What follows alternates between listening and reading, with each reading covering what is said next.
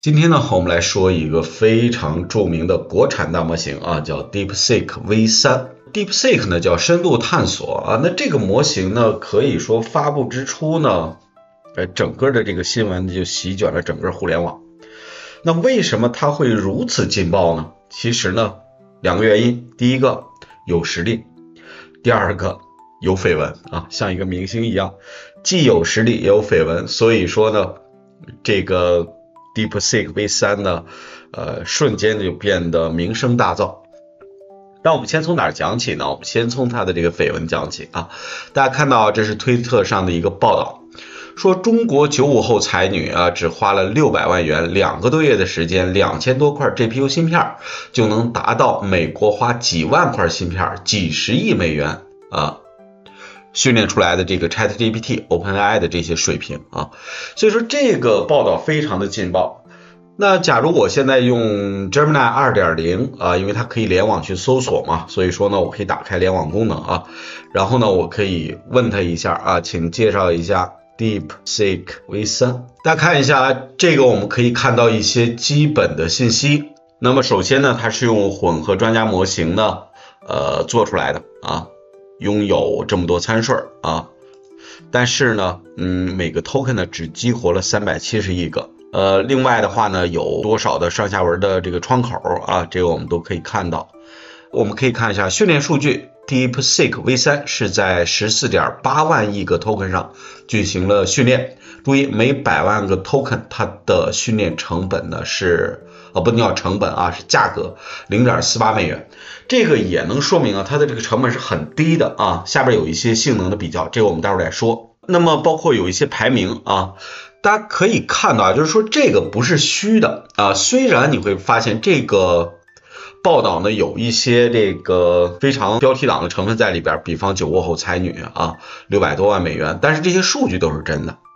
所以说呢。中国的确是花了很少的成本，很少的 GPU 训练出来了一个高质量的这个模型啊，大语言模型，而且是可以比肩 ChatGPT 和我们说的一些呃非常优秀的大模型的啊。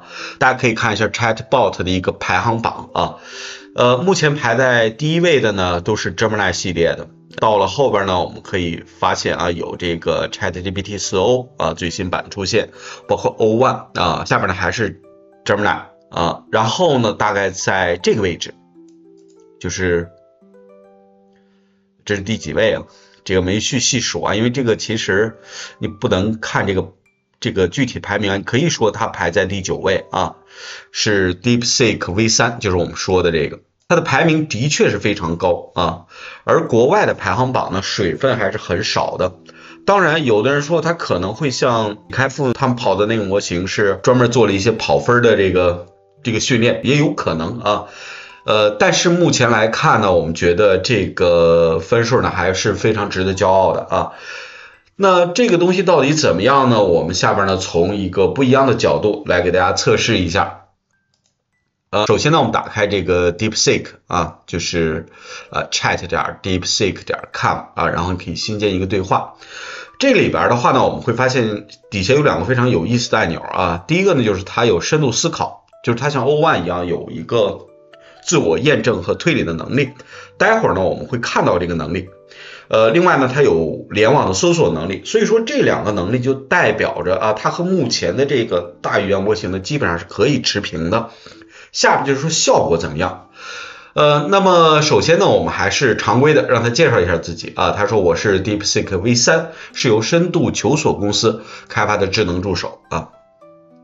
然后呢，我又问了一下，就是呃，互联网对你的评价如何？你有哪些这个优点啊？我看了一下，这个非常的寡淡啊，这个毫无营养，就是非常套话啊，也非常官方，这个我们就不看了啊。下边呢，我们来做第一个测试。第一个测试，其实这个需求来源于我自己啊，因为我儿子呢，他比较喜欢恐怖故事啊，我不知道什么原因啊，就喜欢恐怖故事，但是他的确太小啊，呃，所以说呢，我给他讲恐怖故事的时候呢，我总觉得有压力啊，我不知道会给他带来一些不好的影响。所以说呢，我曾经做过一些实验，就是我想让这个大语言模型呢给我设计一些这样的恐怖故事，就是过程很恐怖，但是结局却充满温馨的故事啊，就是说听起来很恐怖，但是结果又非常的好啊。所以说呢，它这儿有一些这个思路在里头。你看一下啊，叫以深度思考，因为我在我在生成这个故事的时候开启了深度思考，呃，那我们就直接看啊，这个故事是什么？首先呢，这个故事很简单啊，就月光下的神秘花园，是说有一个叫小明的男孩啊，然后他的妈妈告诉他不要去森林里边玩，因为里边有怪物啊，但是小明呢还是去了。呃，然后他发现了一个怪物啊，这个怪物叫露西，长着大大的眼睛和长长的耳朵。这个时候呢，呃，可能你会觉得它比较恐怖啊，但是呢，露西告诉小明，花园将要关闭啊，他要回到自己的世界，所以说，嗯，会给他一朵发光的花儿。呃，然后呢，其实就是一个呃比较温馨的友谊的故事。很老套啊，毫无新意。我觉得我拿这样的故事跟儿子讲，估计他也没什么感觉。那其实这个东西呢，我用 Cloud 也做过一个测试，我们来看一下。这是我之前做的一个 Cloud 的一个测试啊。说孩子喜欢听恐怖故事啊，帮我想几个故事梗概啊，既有恐怖的氛围，又充满童趣。那我们看几个啊，他说会害羞的影子，说小明呢发现他的影子总是偷偷躲起来，不愿跟着他，是因为影子害羞。所以说呢，小明通过和影子做游戏，让影子明白每个人都是独特的，然后呢，呃，变得自信。所以说你会发现这个故事呢，比刚才 DeepSeek 那个其实是要高一个层次的。我觉得我我可能更喜欢这个啊，另外呢就是地下室的胆小鬼啊，这个主要是说地下室有一个小精灵怕黑，这个我觉得也就一般啊，没什么好说的。呃，然后呢还有一个叫贪吃的书包怪，指的是呢有一个小孩啊，他的书包里边呢有一个小妖怪，然后半夜会发出声响，他会。吃那个小孩的作业，那后来呢？小孩会发现是他想让他不要那么晚去写作业啊，包括后边还会有。那么大家会发现啊，我觉得像贪吃的书包怪这个水平就很高了啊，包括我在跟孩子讲的时候，他也觉得非常的有意思。呃，所以说呢，你会发现啊，从这个程度上来讲，那个 DeepSeek 呢。它这种写故事的能力啊，其实和这个 Cloud 还是有一定的差距的啊。我们不管那个排名，我们就看我们直观的一个感受。呃，所以说呢，我觉得可能在这个方面的 DeepSeek 还需要努力一把啊。下边呢，我们来看第二个，第二个当然很简单了啊，就是我们来写一个贪吃蛇的游戏。这个我稍微增加了一些难度啊，是说我们这个贪吃蛇游戏里边这个食物就是吃那个东西，它是既有红色的也有绿色的。你注意，红色的是有毒的，所以说呢，吃了就怎么着啊？吃了就这个 game over 了啊。但是绿色食物是可以正常吃的，然后它也有深度思考啊，就是怎么去写。他写了一个啊，但是他写的这个是分开写的，写了一个 HTML，然后呢又写了一个 JS 啊，我没法测啊，所以说呢我就让他呃写成一个文件啊，他就写成了一个文件，大家看一下，这个 DeepSeek 和这个 Cloud 是一样的啊，它是可以直接运行这种前端程序的，我们可以直接跑，大家看一下，如果我现在点这个开始游戏的话呢，我们就可以开启这个贪吃蛇。大家看一下啊，这个第一步就已经说明问题了，就是当我吃掉那个红色的时候，它就没有办法继续了。然后现在不能吃它，那是我吃还是不吃啊？所以说它本身存在 bug，对吧？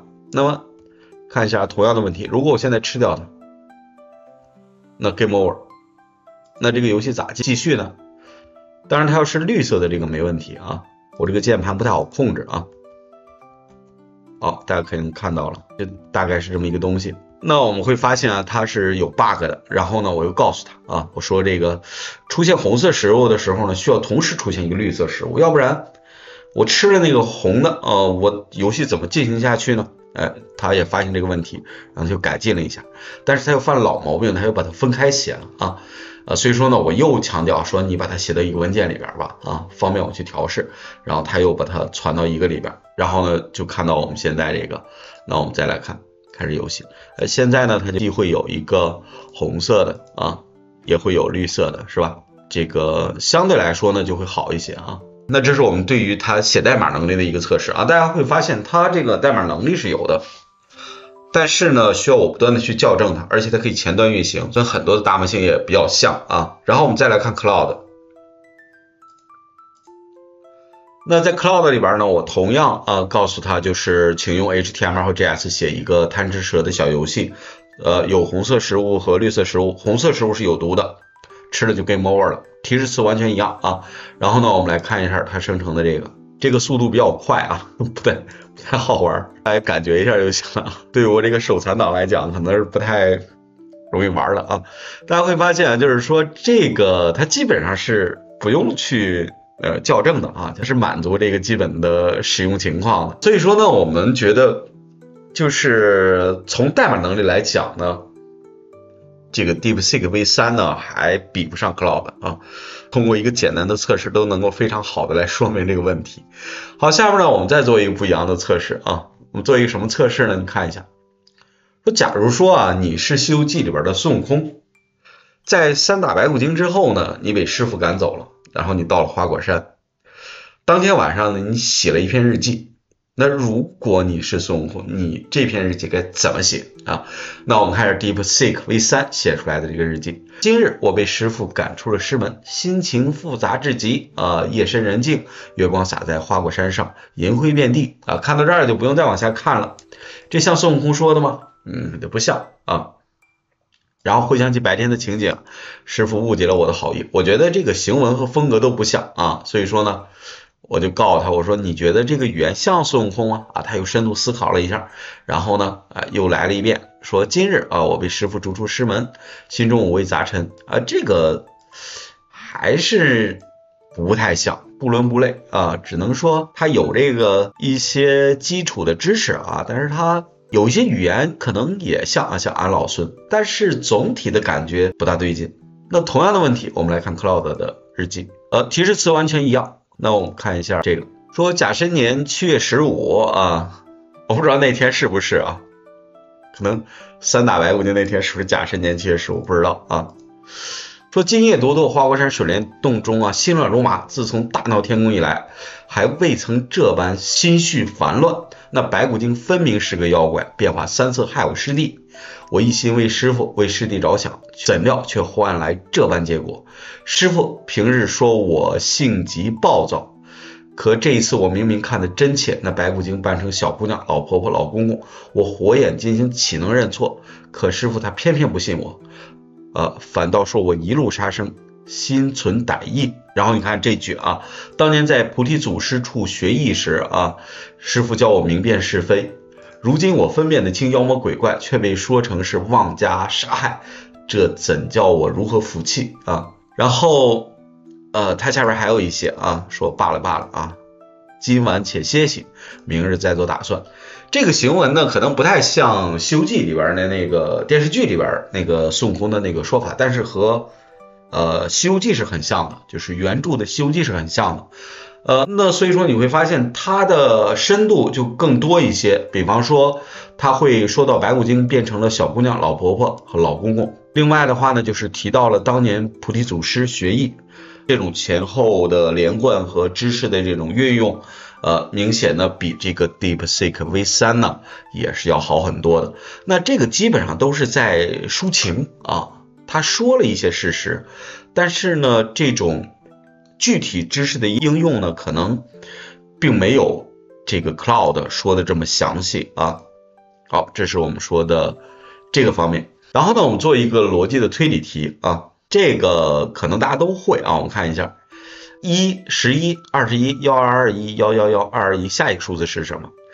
呃，那首先我们说一下这个思路是什么啊？就是后边是来解释前边，这是一个一啊，所以说这是一一，这个是两个一，所以说这是二一，呃，那这个呢是一个二一个一，所以说是一二二一，然后这个呢就是一个一，然后一个二。两个一啊，所以说下一个该是什么？那你就应该知道啊，它应该是三一呃二二一一啊，大概是这么个东西那它这个推理呢也非常的准确，看一下，就是说是从后一个用来描述前一个嘛，他说的也非常准啊。我觉得这个逻辑推理题它是没有问题的。然后呢，又问了一个大家经常会说的那个什么三点一零和三点九哪个大？这个对于很多的大模型可能都会出问题，包括 Gemini 都会出问题啊。但是呃，需要有一些自证能力和自我的这个推理能力就可以解决这个。那么它这儿呢有一些这个推理的东西啊，我们不用去细看，我们就看这一句就行。因为很多模型会认为三点一零比三点九要大啊。你看它这一句说，不过为了确保万无一失，我再用另一种方法去验证一下。比方说，我把它转成分数啊，三点九等于三十九除以十，而三点一零等于三十一除以十啊。相比较三十九除以十和三十一除以十，它当然就是这个更大。那你会发现，这个就非常明确的能杜绝我们说误判的这种情况。但是同样的问题，你可以问一下这么大啊，它原来有这错误啊，我不知道它现在还有没有，可能新版的没了啊。我们试一下，你看一下啊，老问题依然存在，三点一零比三点九大啊，这已经是二点零模型了啊。它这个问题依然没有解决掉，哎，所以说呢，每个模型都会有自己的长处和短处啊，这个大家尽量的包容一点啊。另外呢，我们再做一个什么呢？哦，哎，我们做一个提示词的啊，这个呢是我做了一个加强的那个会员的提示词系统啊。这个提示词系统就是说我可以给一些关键词和一张图片，让它构建一个这个完整的提示词。那我们可以看一下啊，我写的这个提示词系统啊，在有一个视频里边，我们会单独的去讲啊。假如说我要是用 DeepSeek V3 让它来做的话，它会生成一个提示词。那我给它的关键词是月夜下的汉服女孩，然后呢，它会给我一段提示词啊，就是这个。同样的，我让那个 Cloud 呢也来生成了一段提示词。它也生成了这个汉服女孩的一个提示词，当然它一开始给的特别多啊，所以说呢，我就让它限定在了一百个单词以内，然后生成了最终的提示词。然后我把这两个提示词啊，分别给这个会员，让它生成一下，大家看一下哪个效果会更好一些啊？我们看最终结果，大家注意啊，上面这个呢是那个就是那个 DeepSeek V3 生成的。下边这个呢是这个 Cloud 生成的，那我们先看这两个动画，这样我们把它放平啊。大家注意啊，Cloud 这个的话呢，其实它的元素还是相对的单一一些啊，就是一个女孩，然后有一些基本的动作，这个动作呢也有点缺乏美感啊，而且这个特别像在舞台上面，它的元素仅仅有这个花儿啊，有这么一个装饰物，而你看这个。那这个呢，其实从美感上来看的话呢，月亮、竹子，然后后边的亭台，然后水啊，这个汉服女孩穿的这个服饰，它整个的动作都是比较优雅的。那么，所以说呢，在同样的提示词下边，我们觉得可能 DeepSeek V3 更容易理解这种叫中国的美啊，中国古典意义上的美，呃。所以说呢，在处理本土化的东西的时候，我觉得 DeepSeek V3 呢还是更有优势的啊。通过这样一系列的测试，我并不是为了说明 DeepSeek V3 它更优秀，或者是这个更差啊。我们只是说，呃，那么各个模型有自己的特点。那国产大模型呢，在算力有限啊，各个这个不利情况下，能有这样的一个。东西出现，我觉得是呃我们需要去感到高兴的，是吧？呃，所以说呢，大家今后尽量的去更多的关注一下 DeepSeek V3，呃，去更多的使用它，使用好之后呢，呃，尽量的要给反馈啊，因为呢，你的反馈其实是让它成长的更好啊。好，今天呢我们就说这么多，关注我，做一个懂爱的人。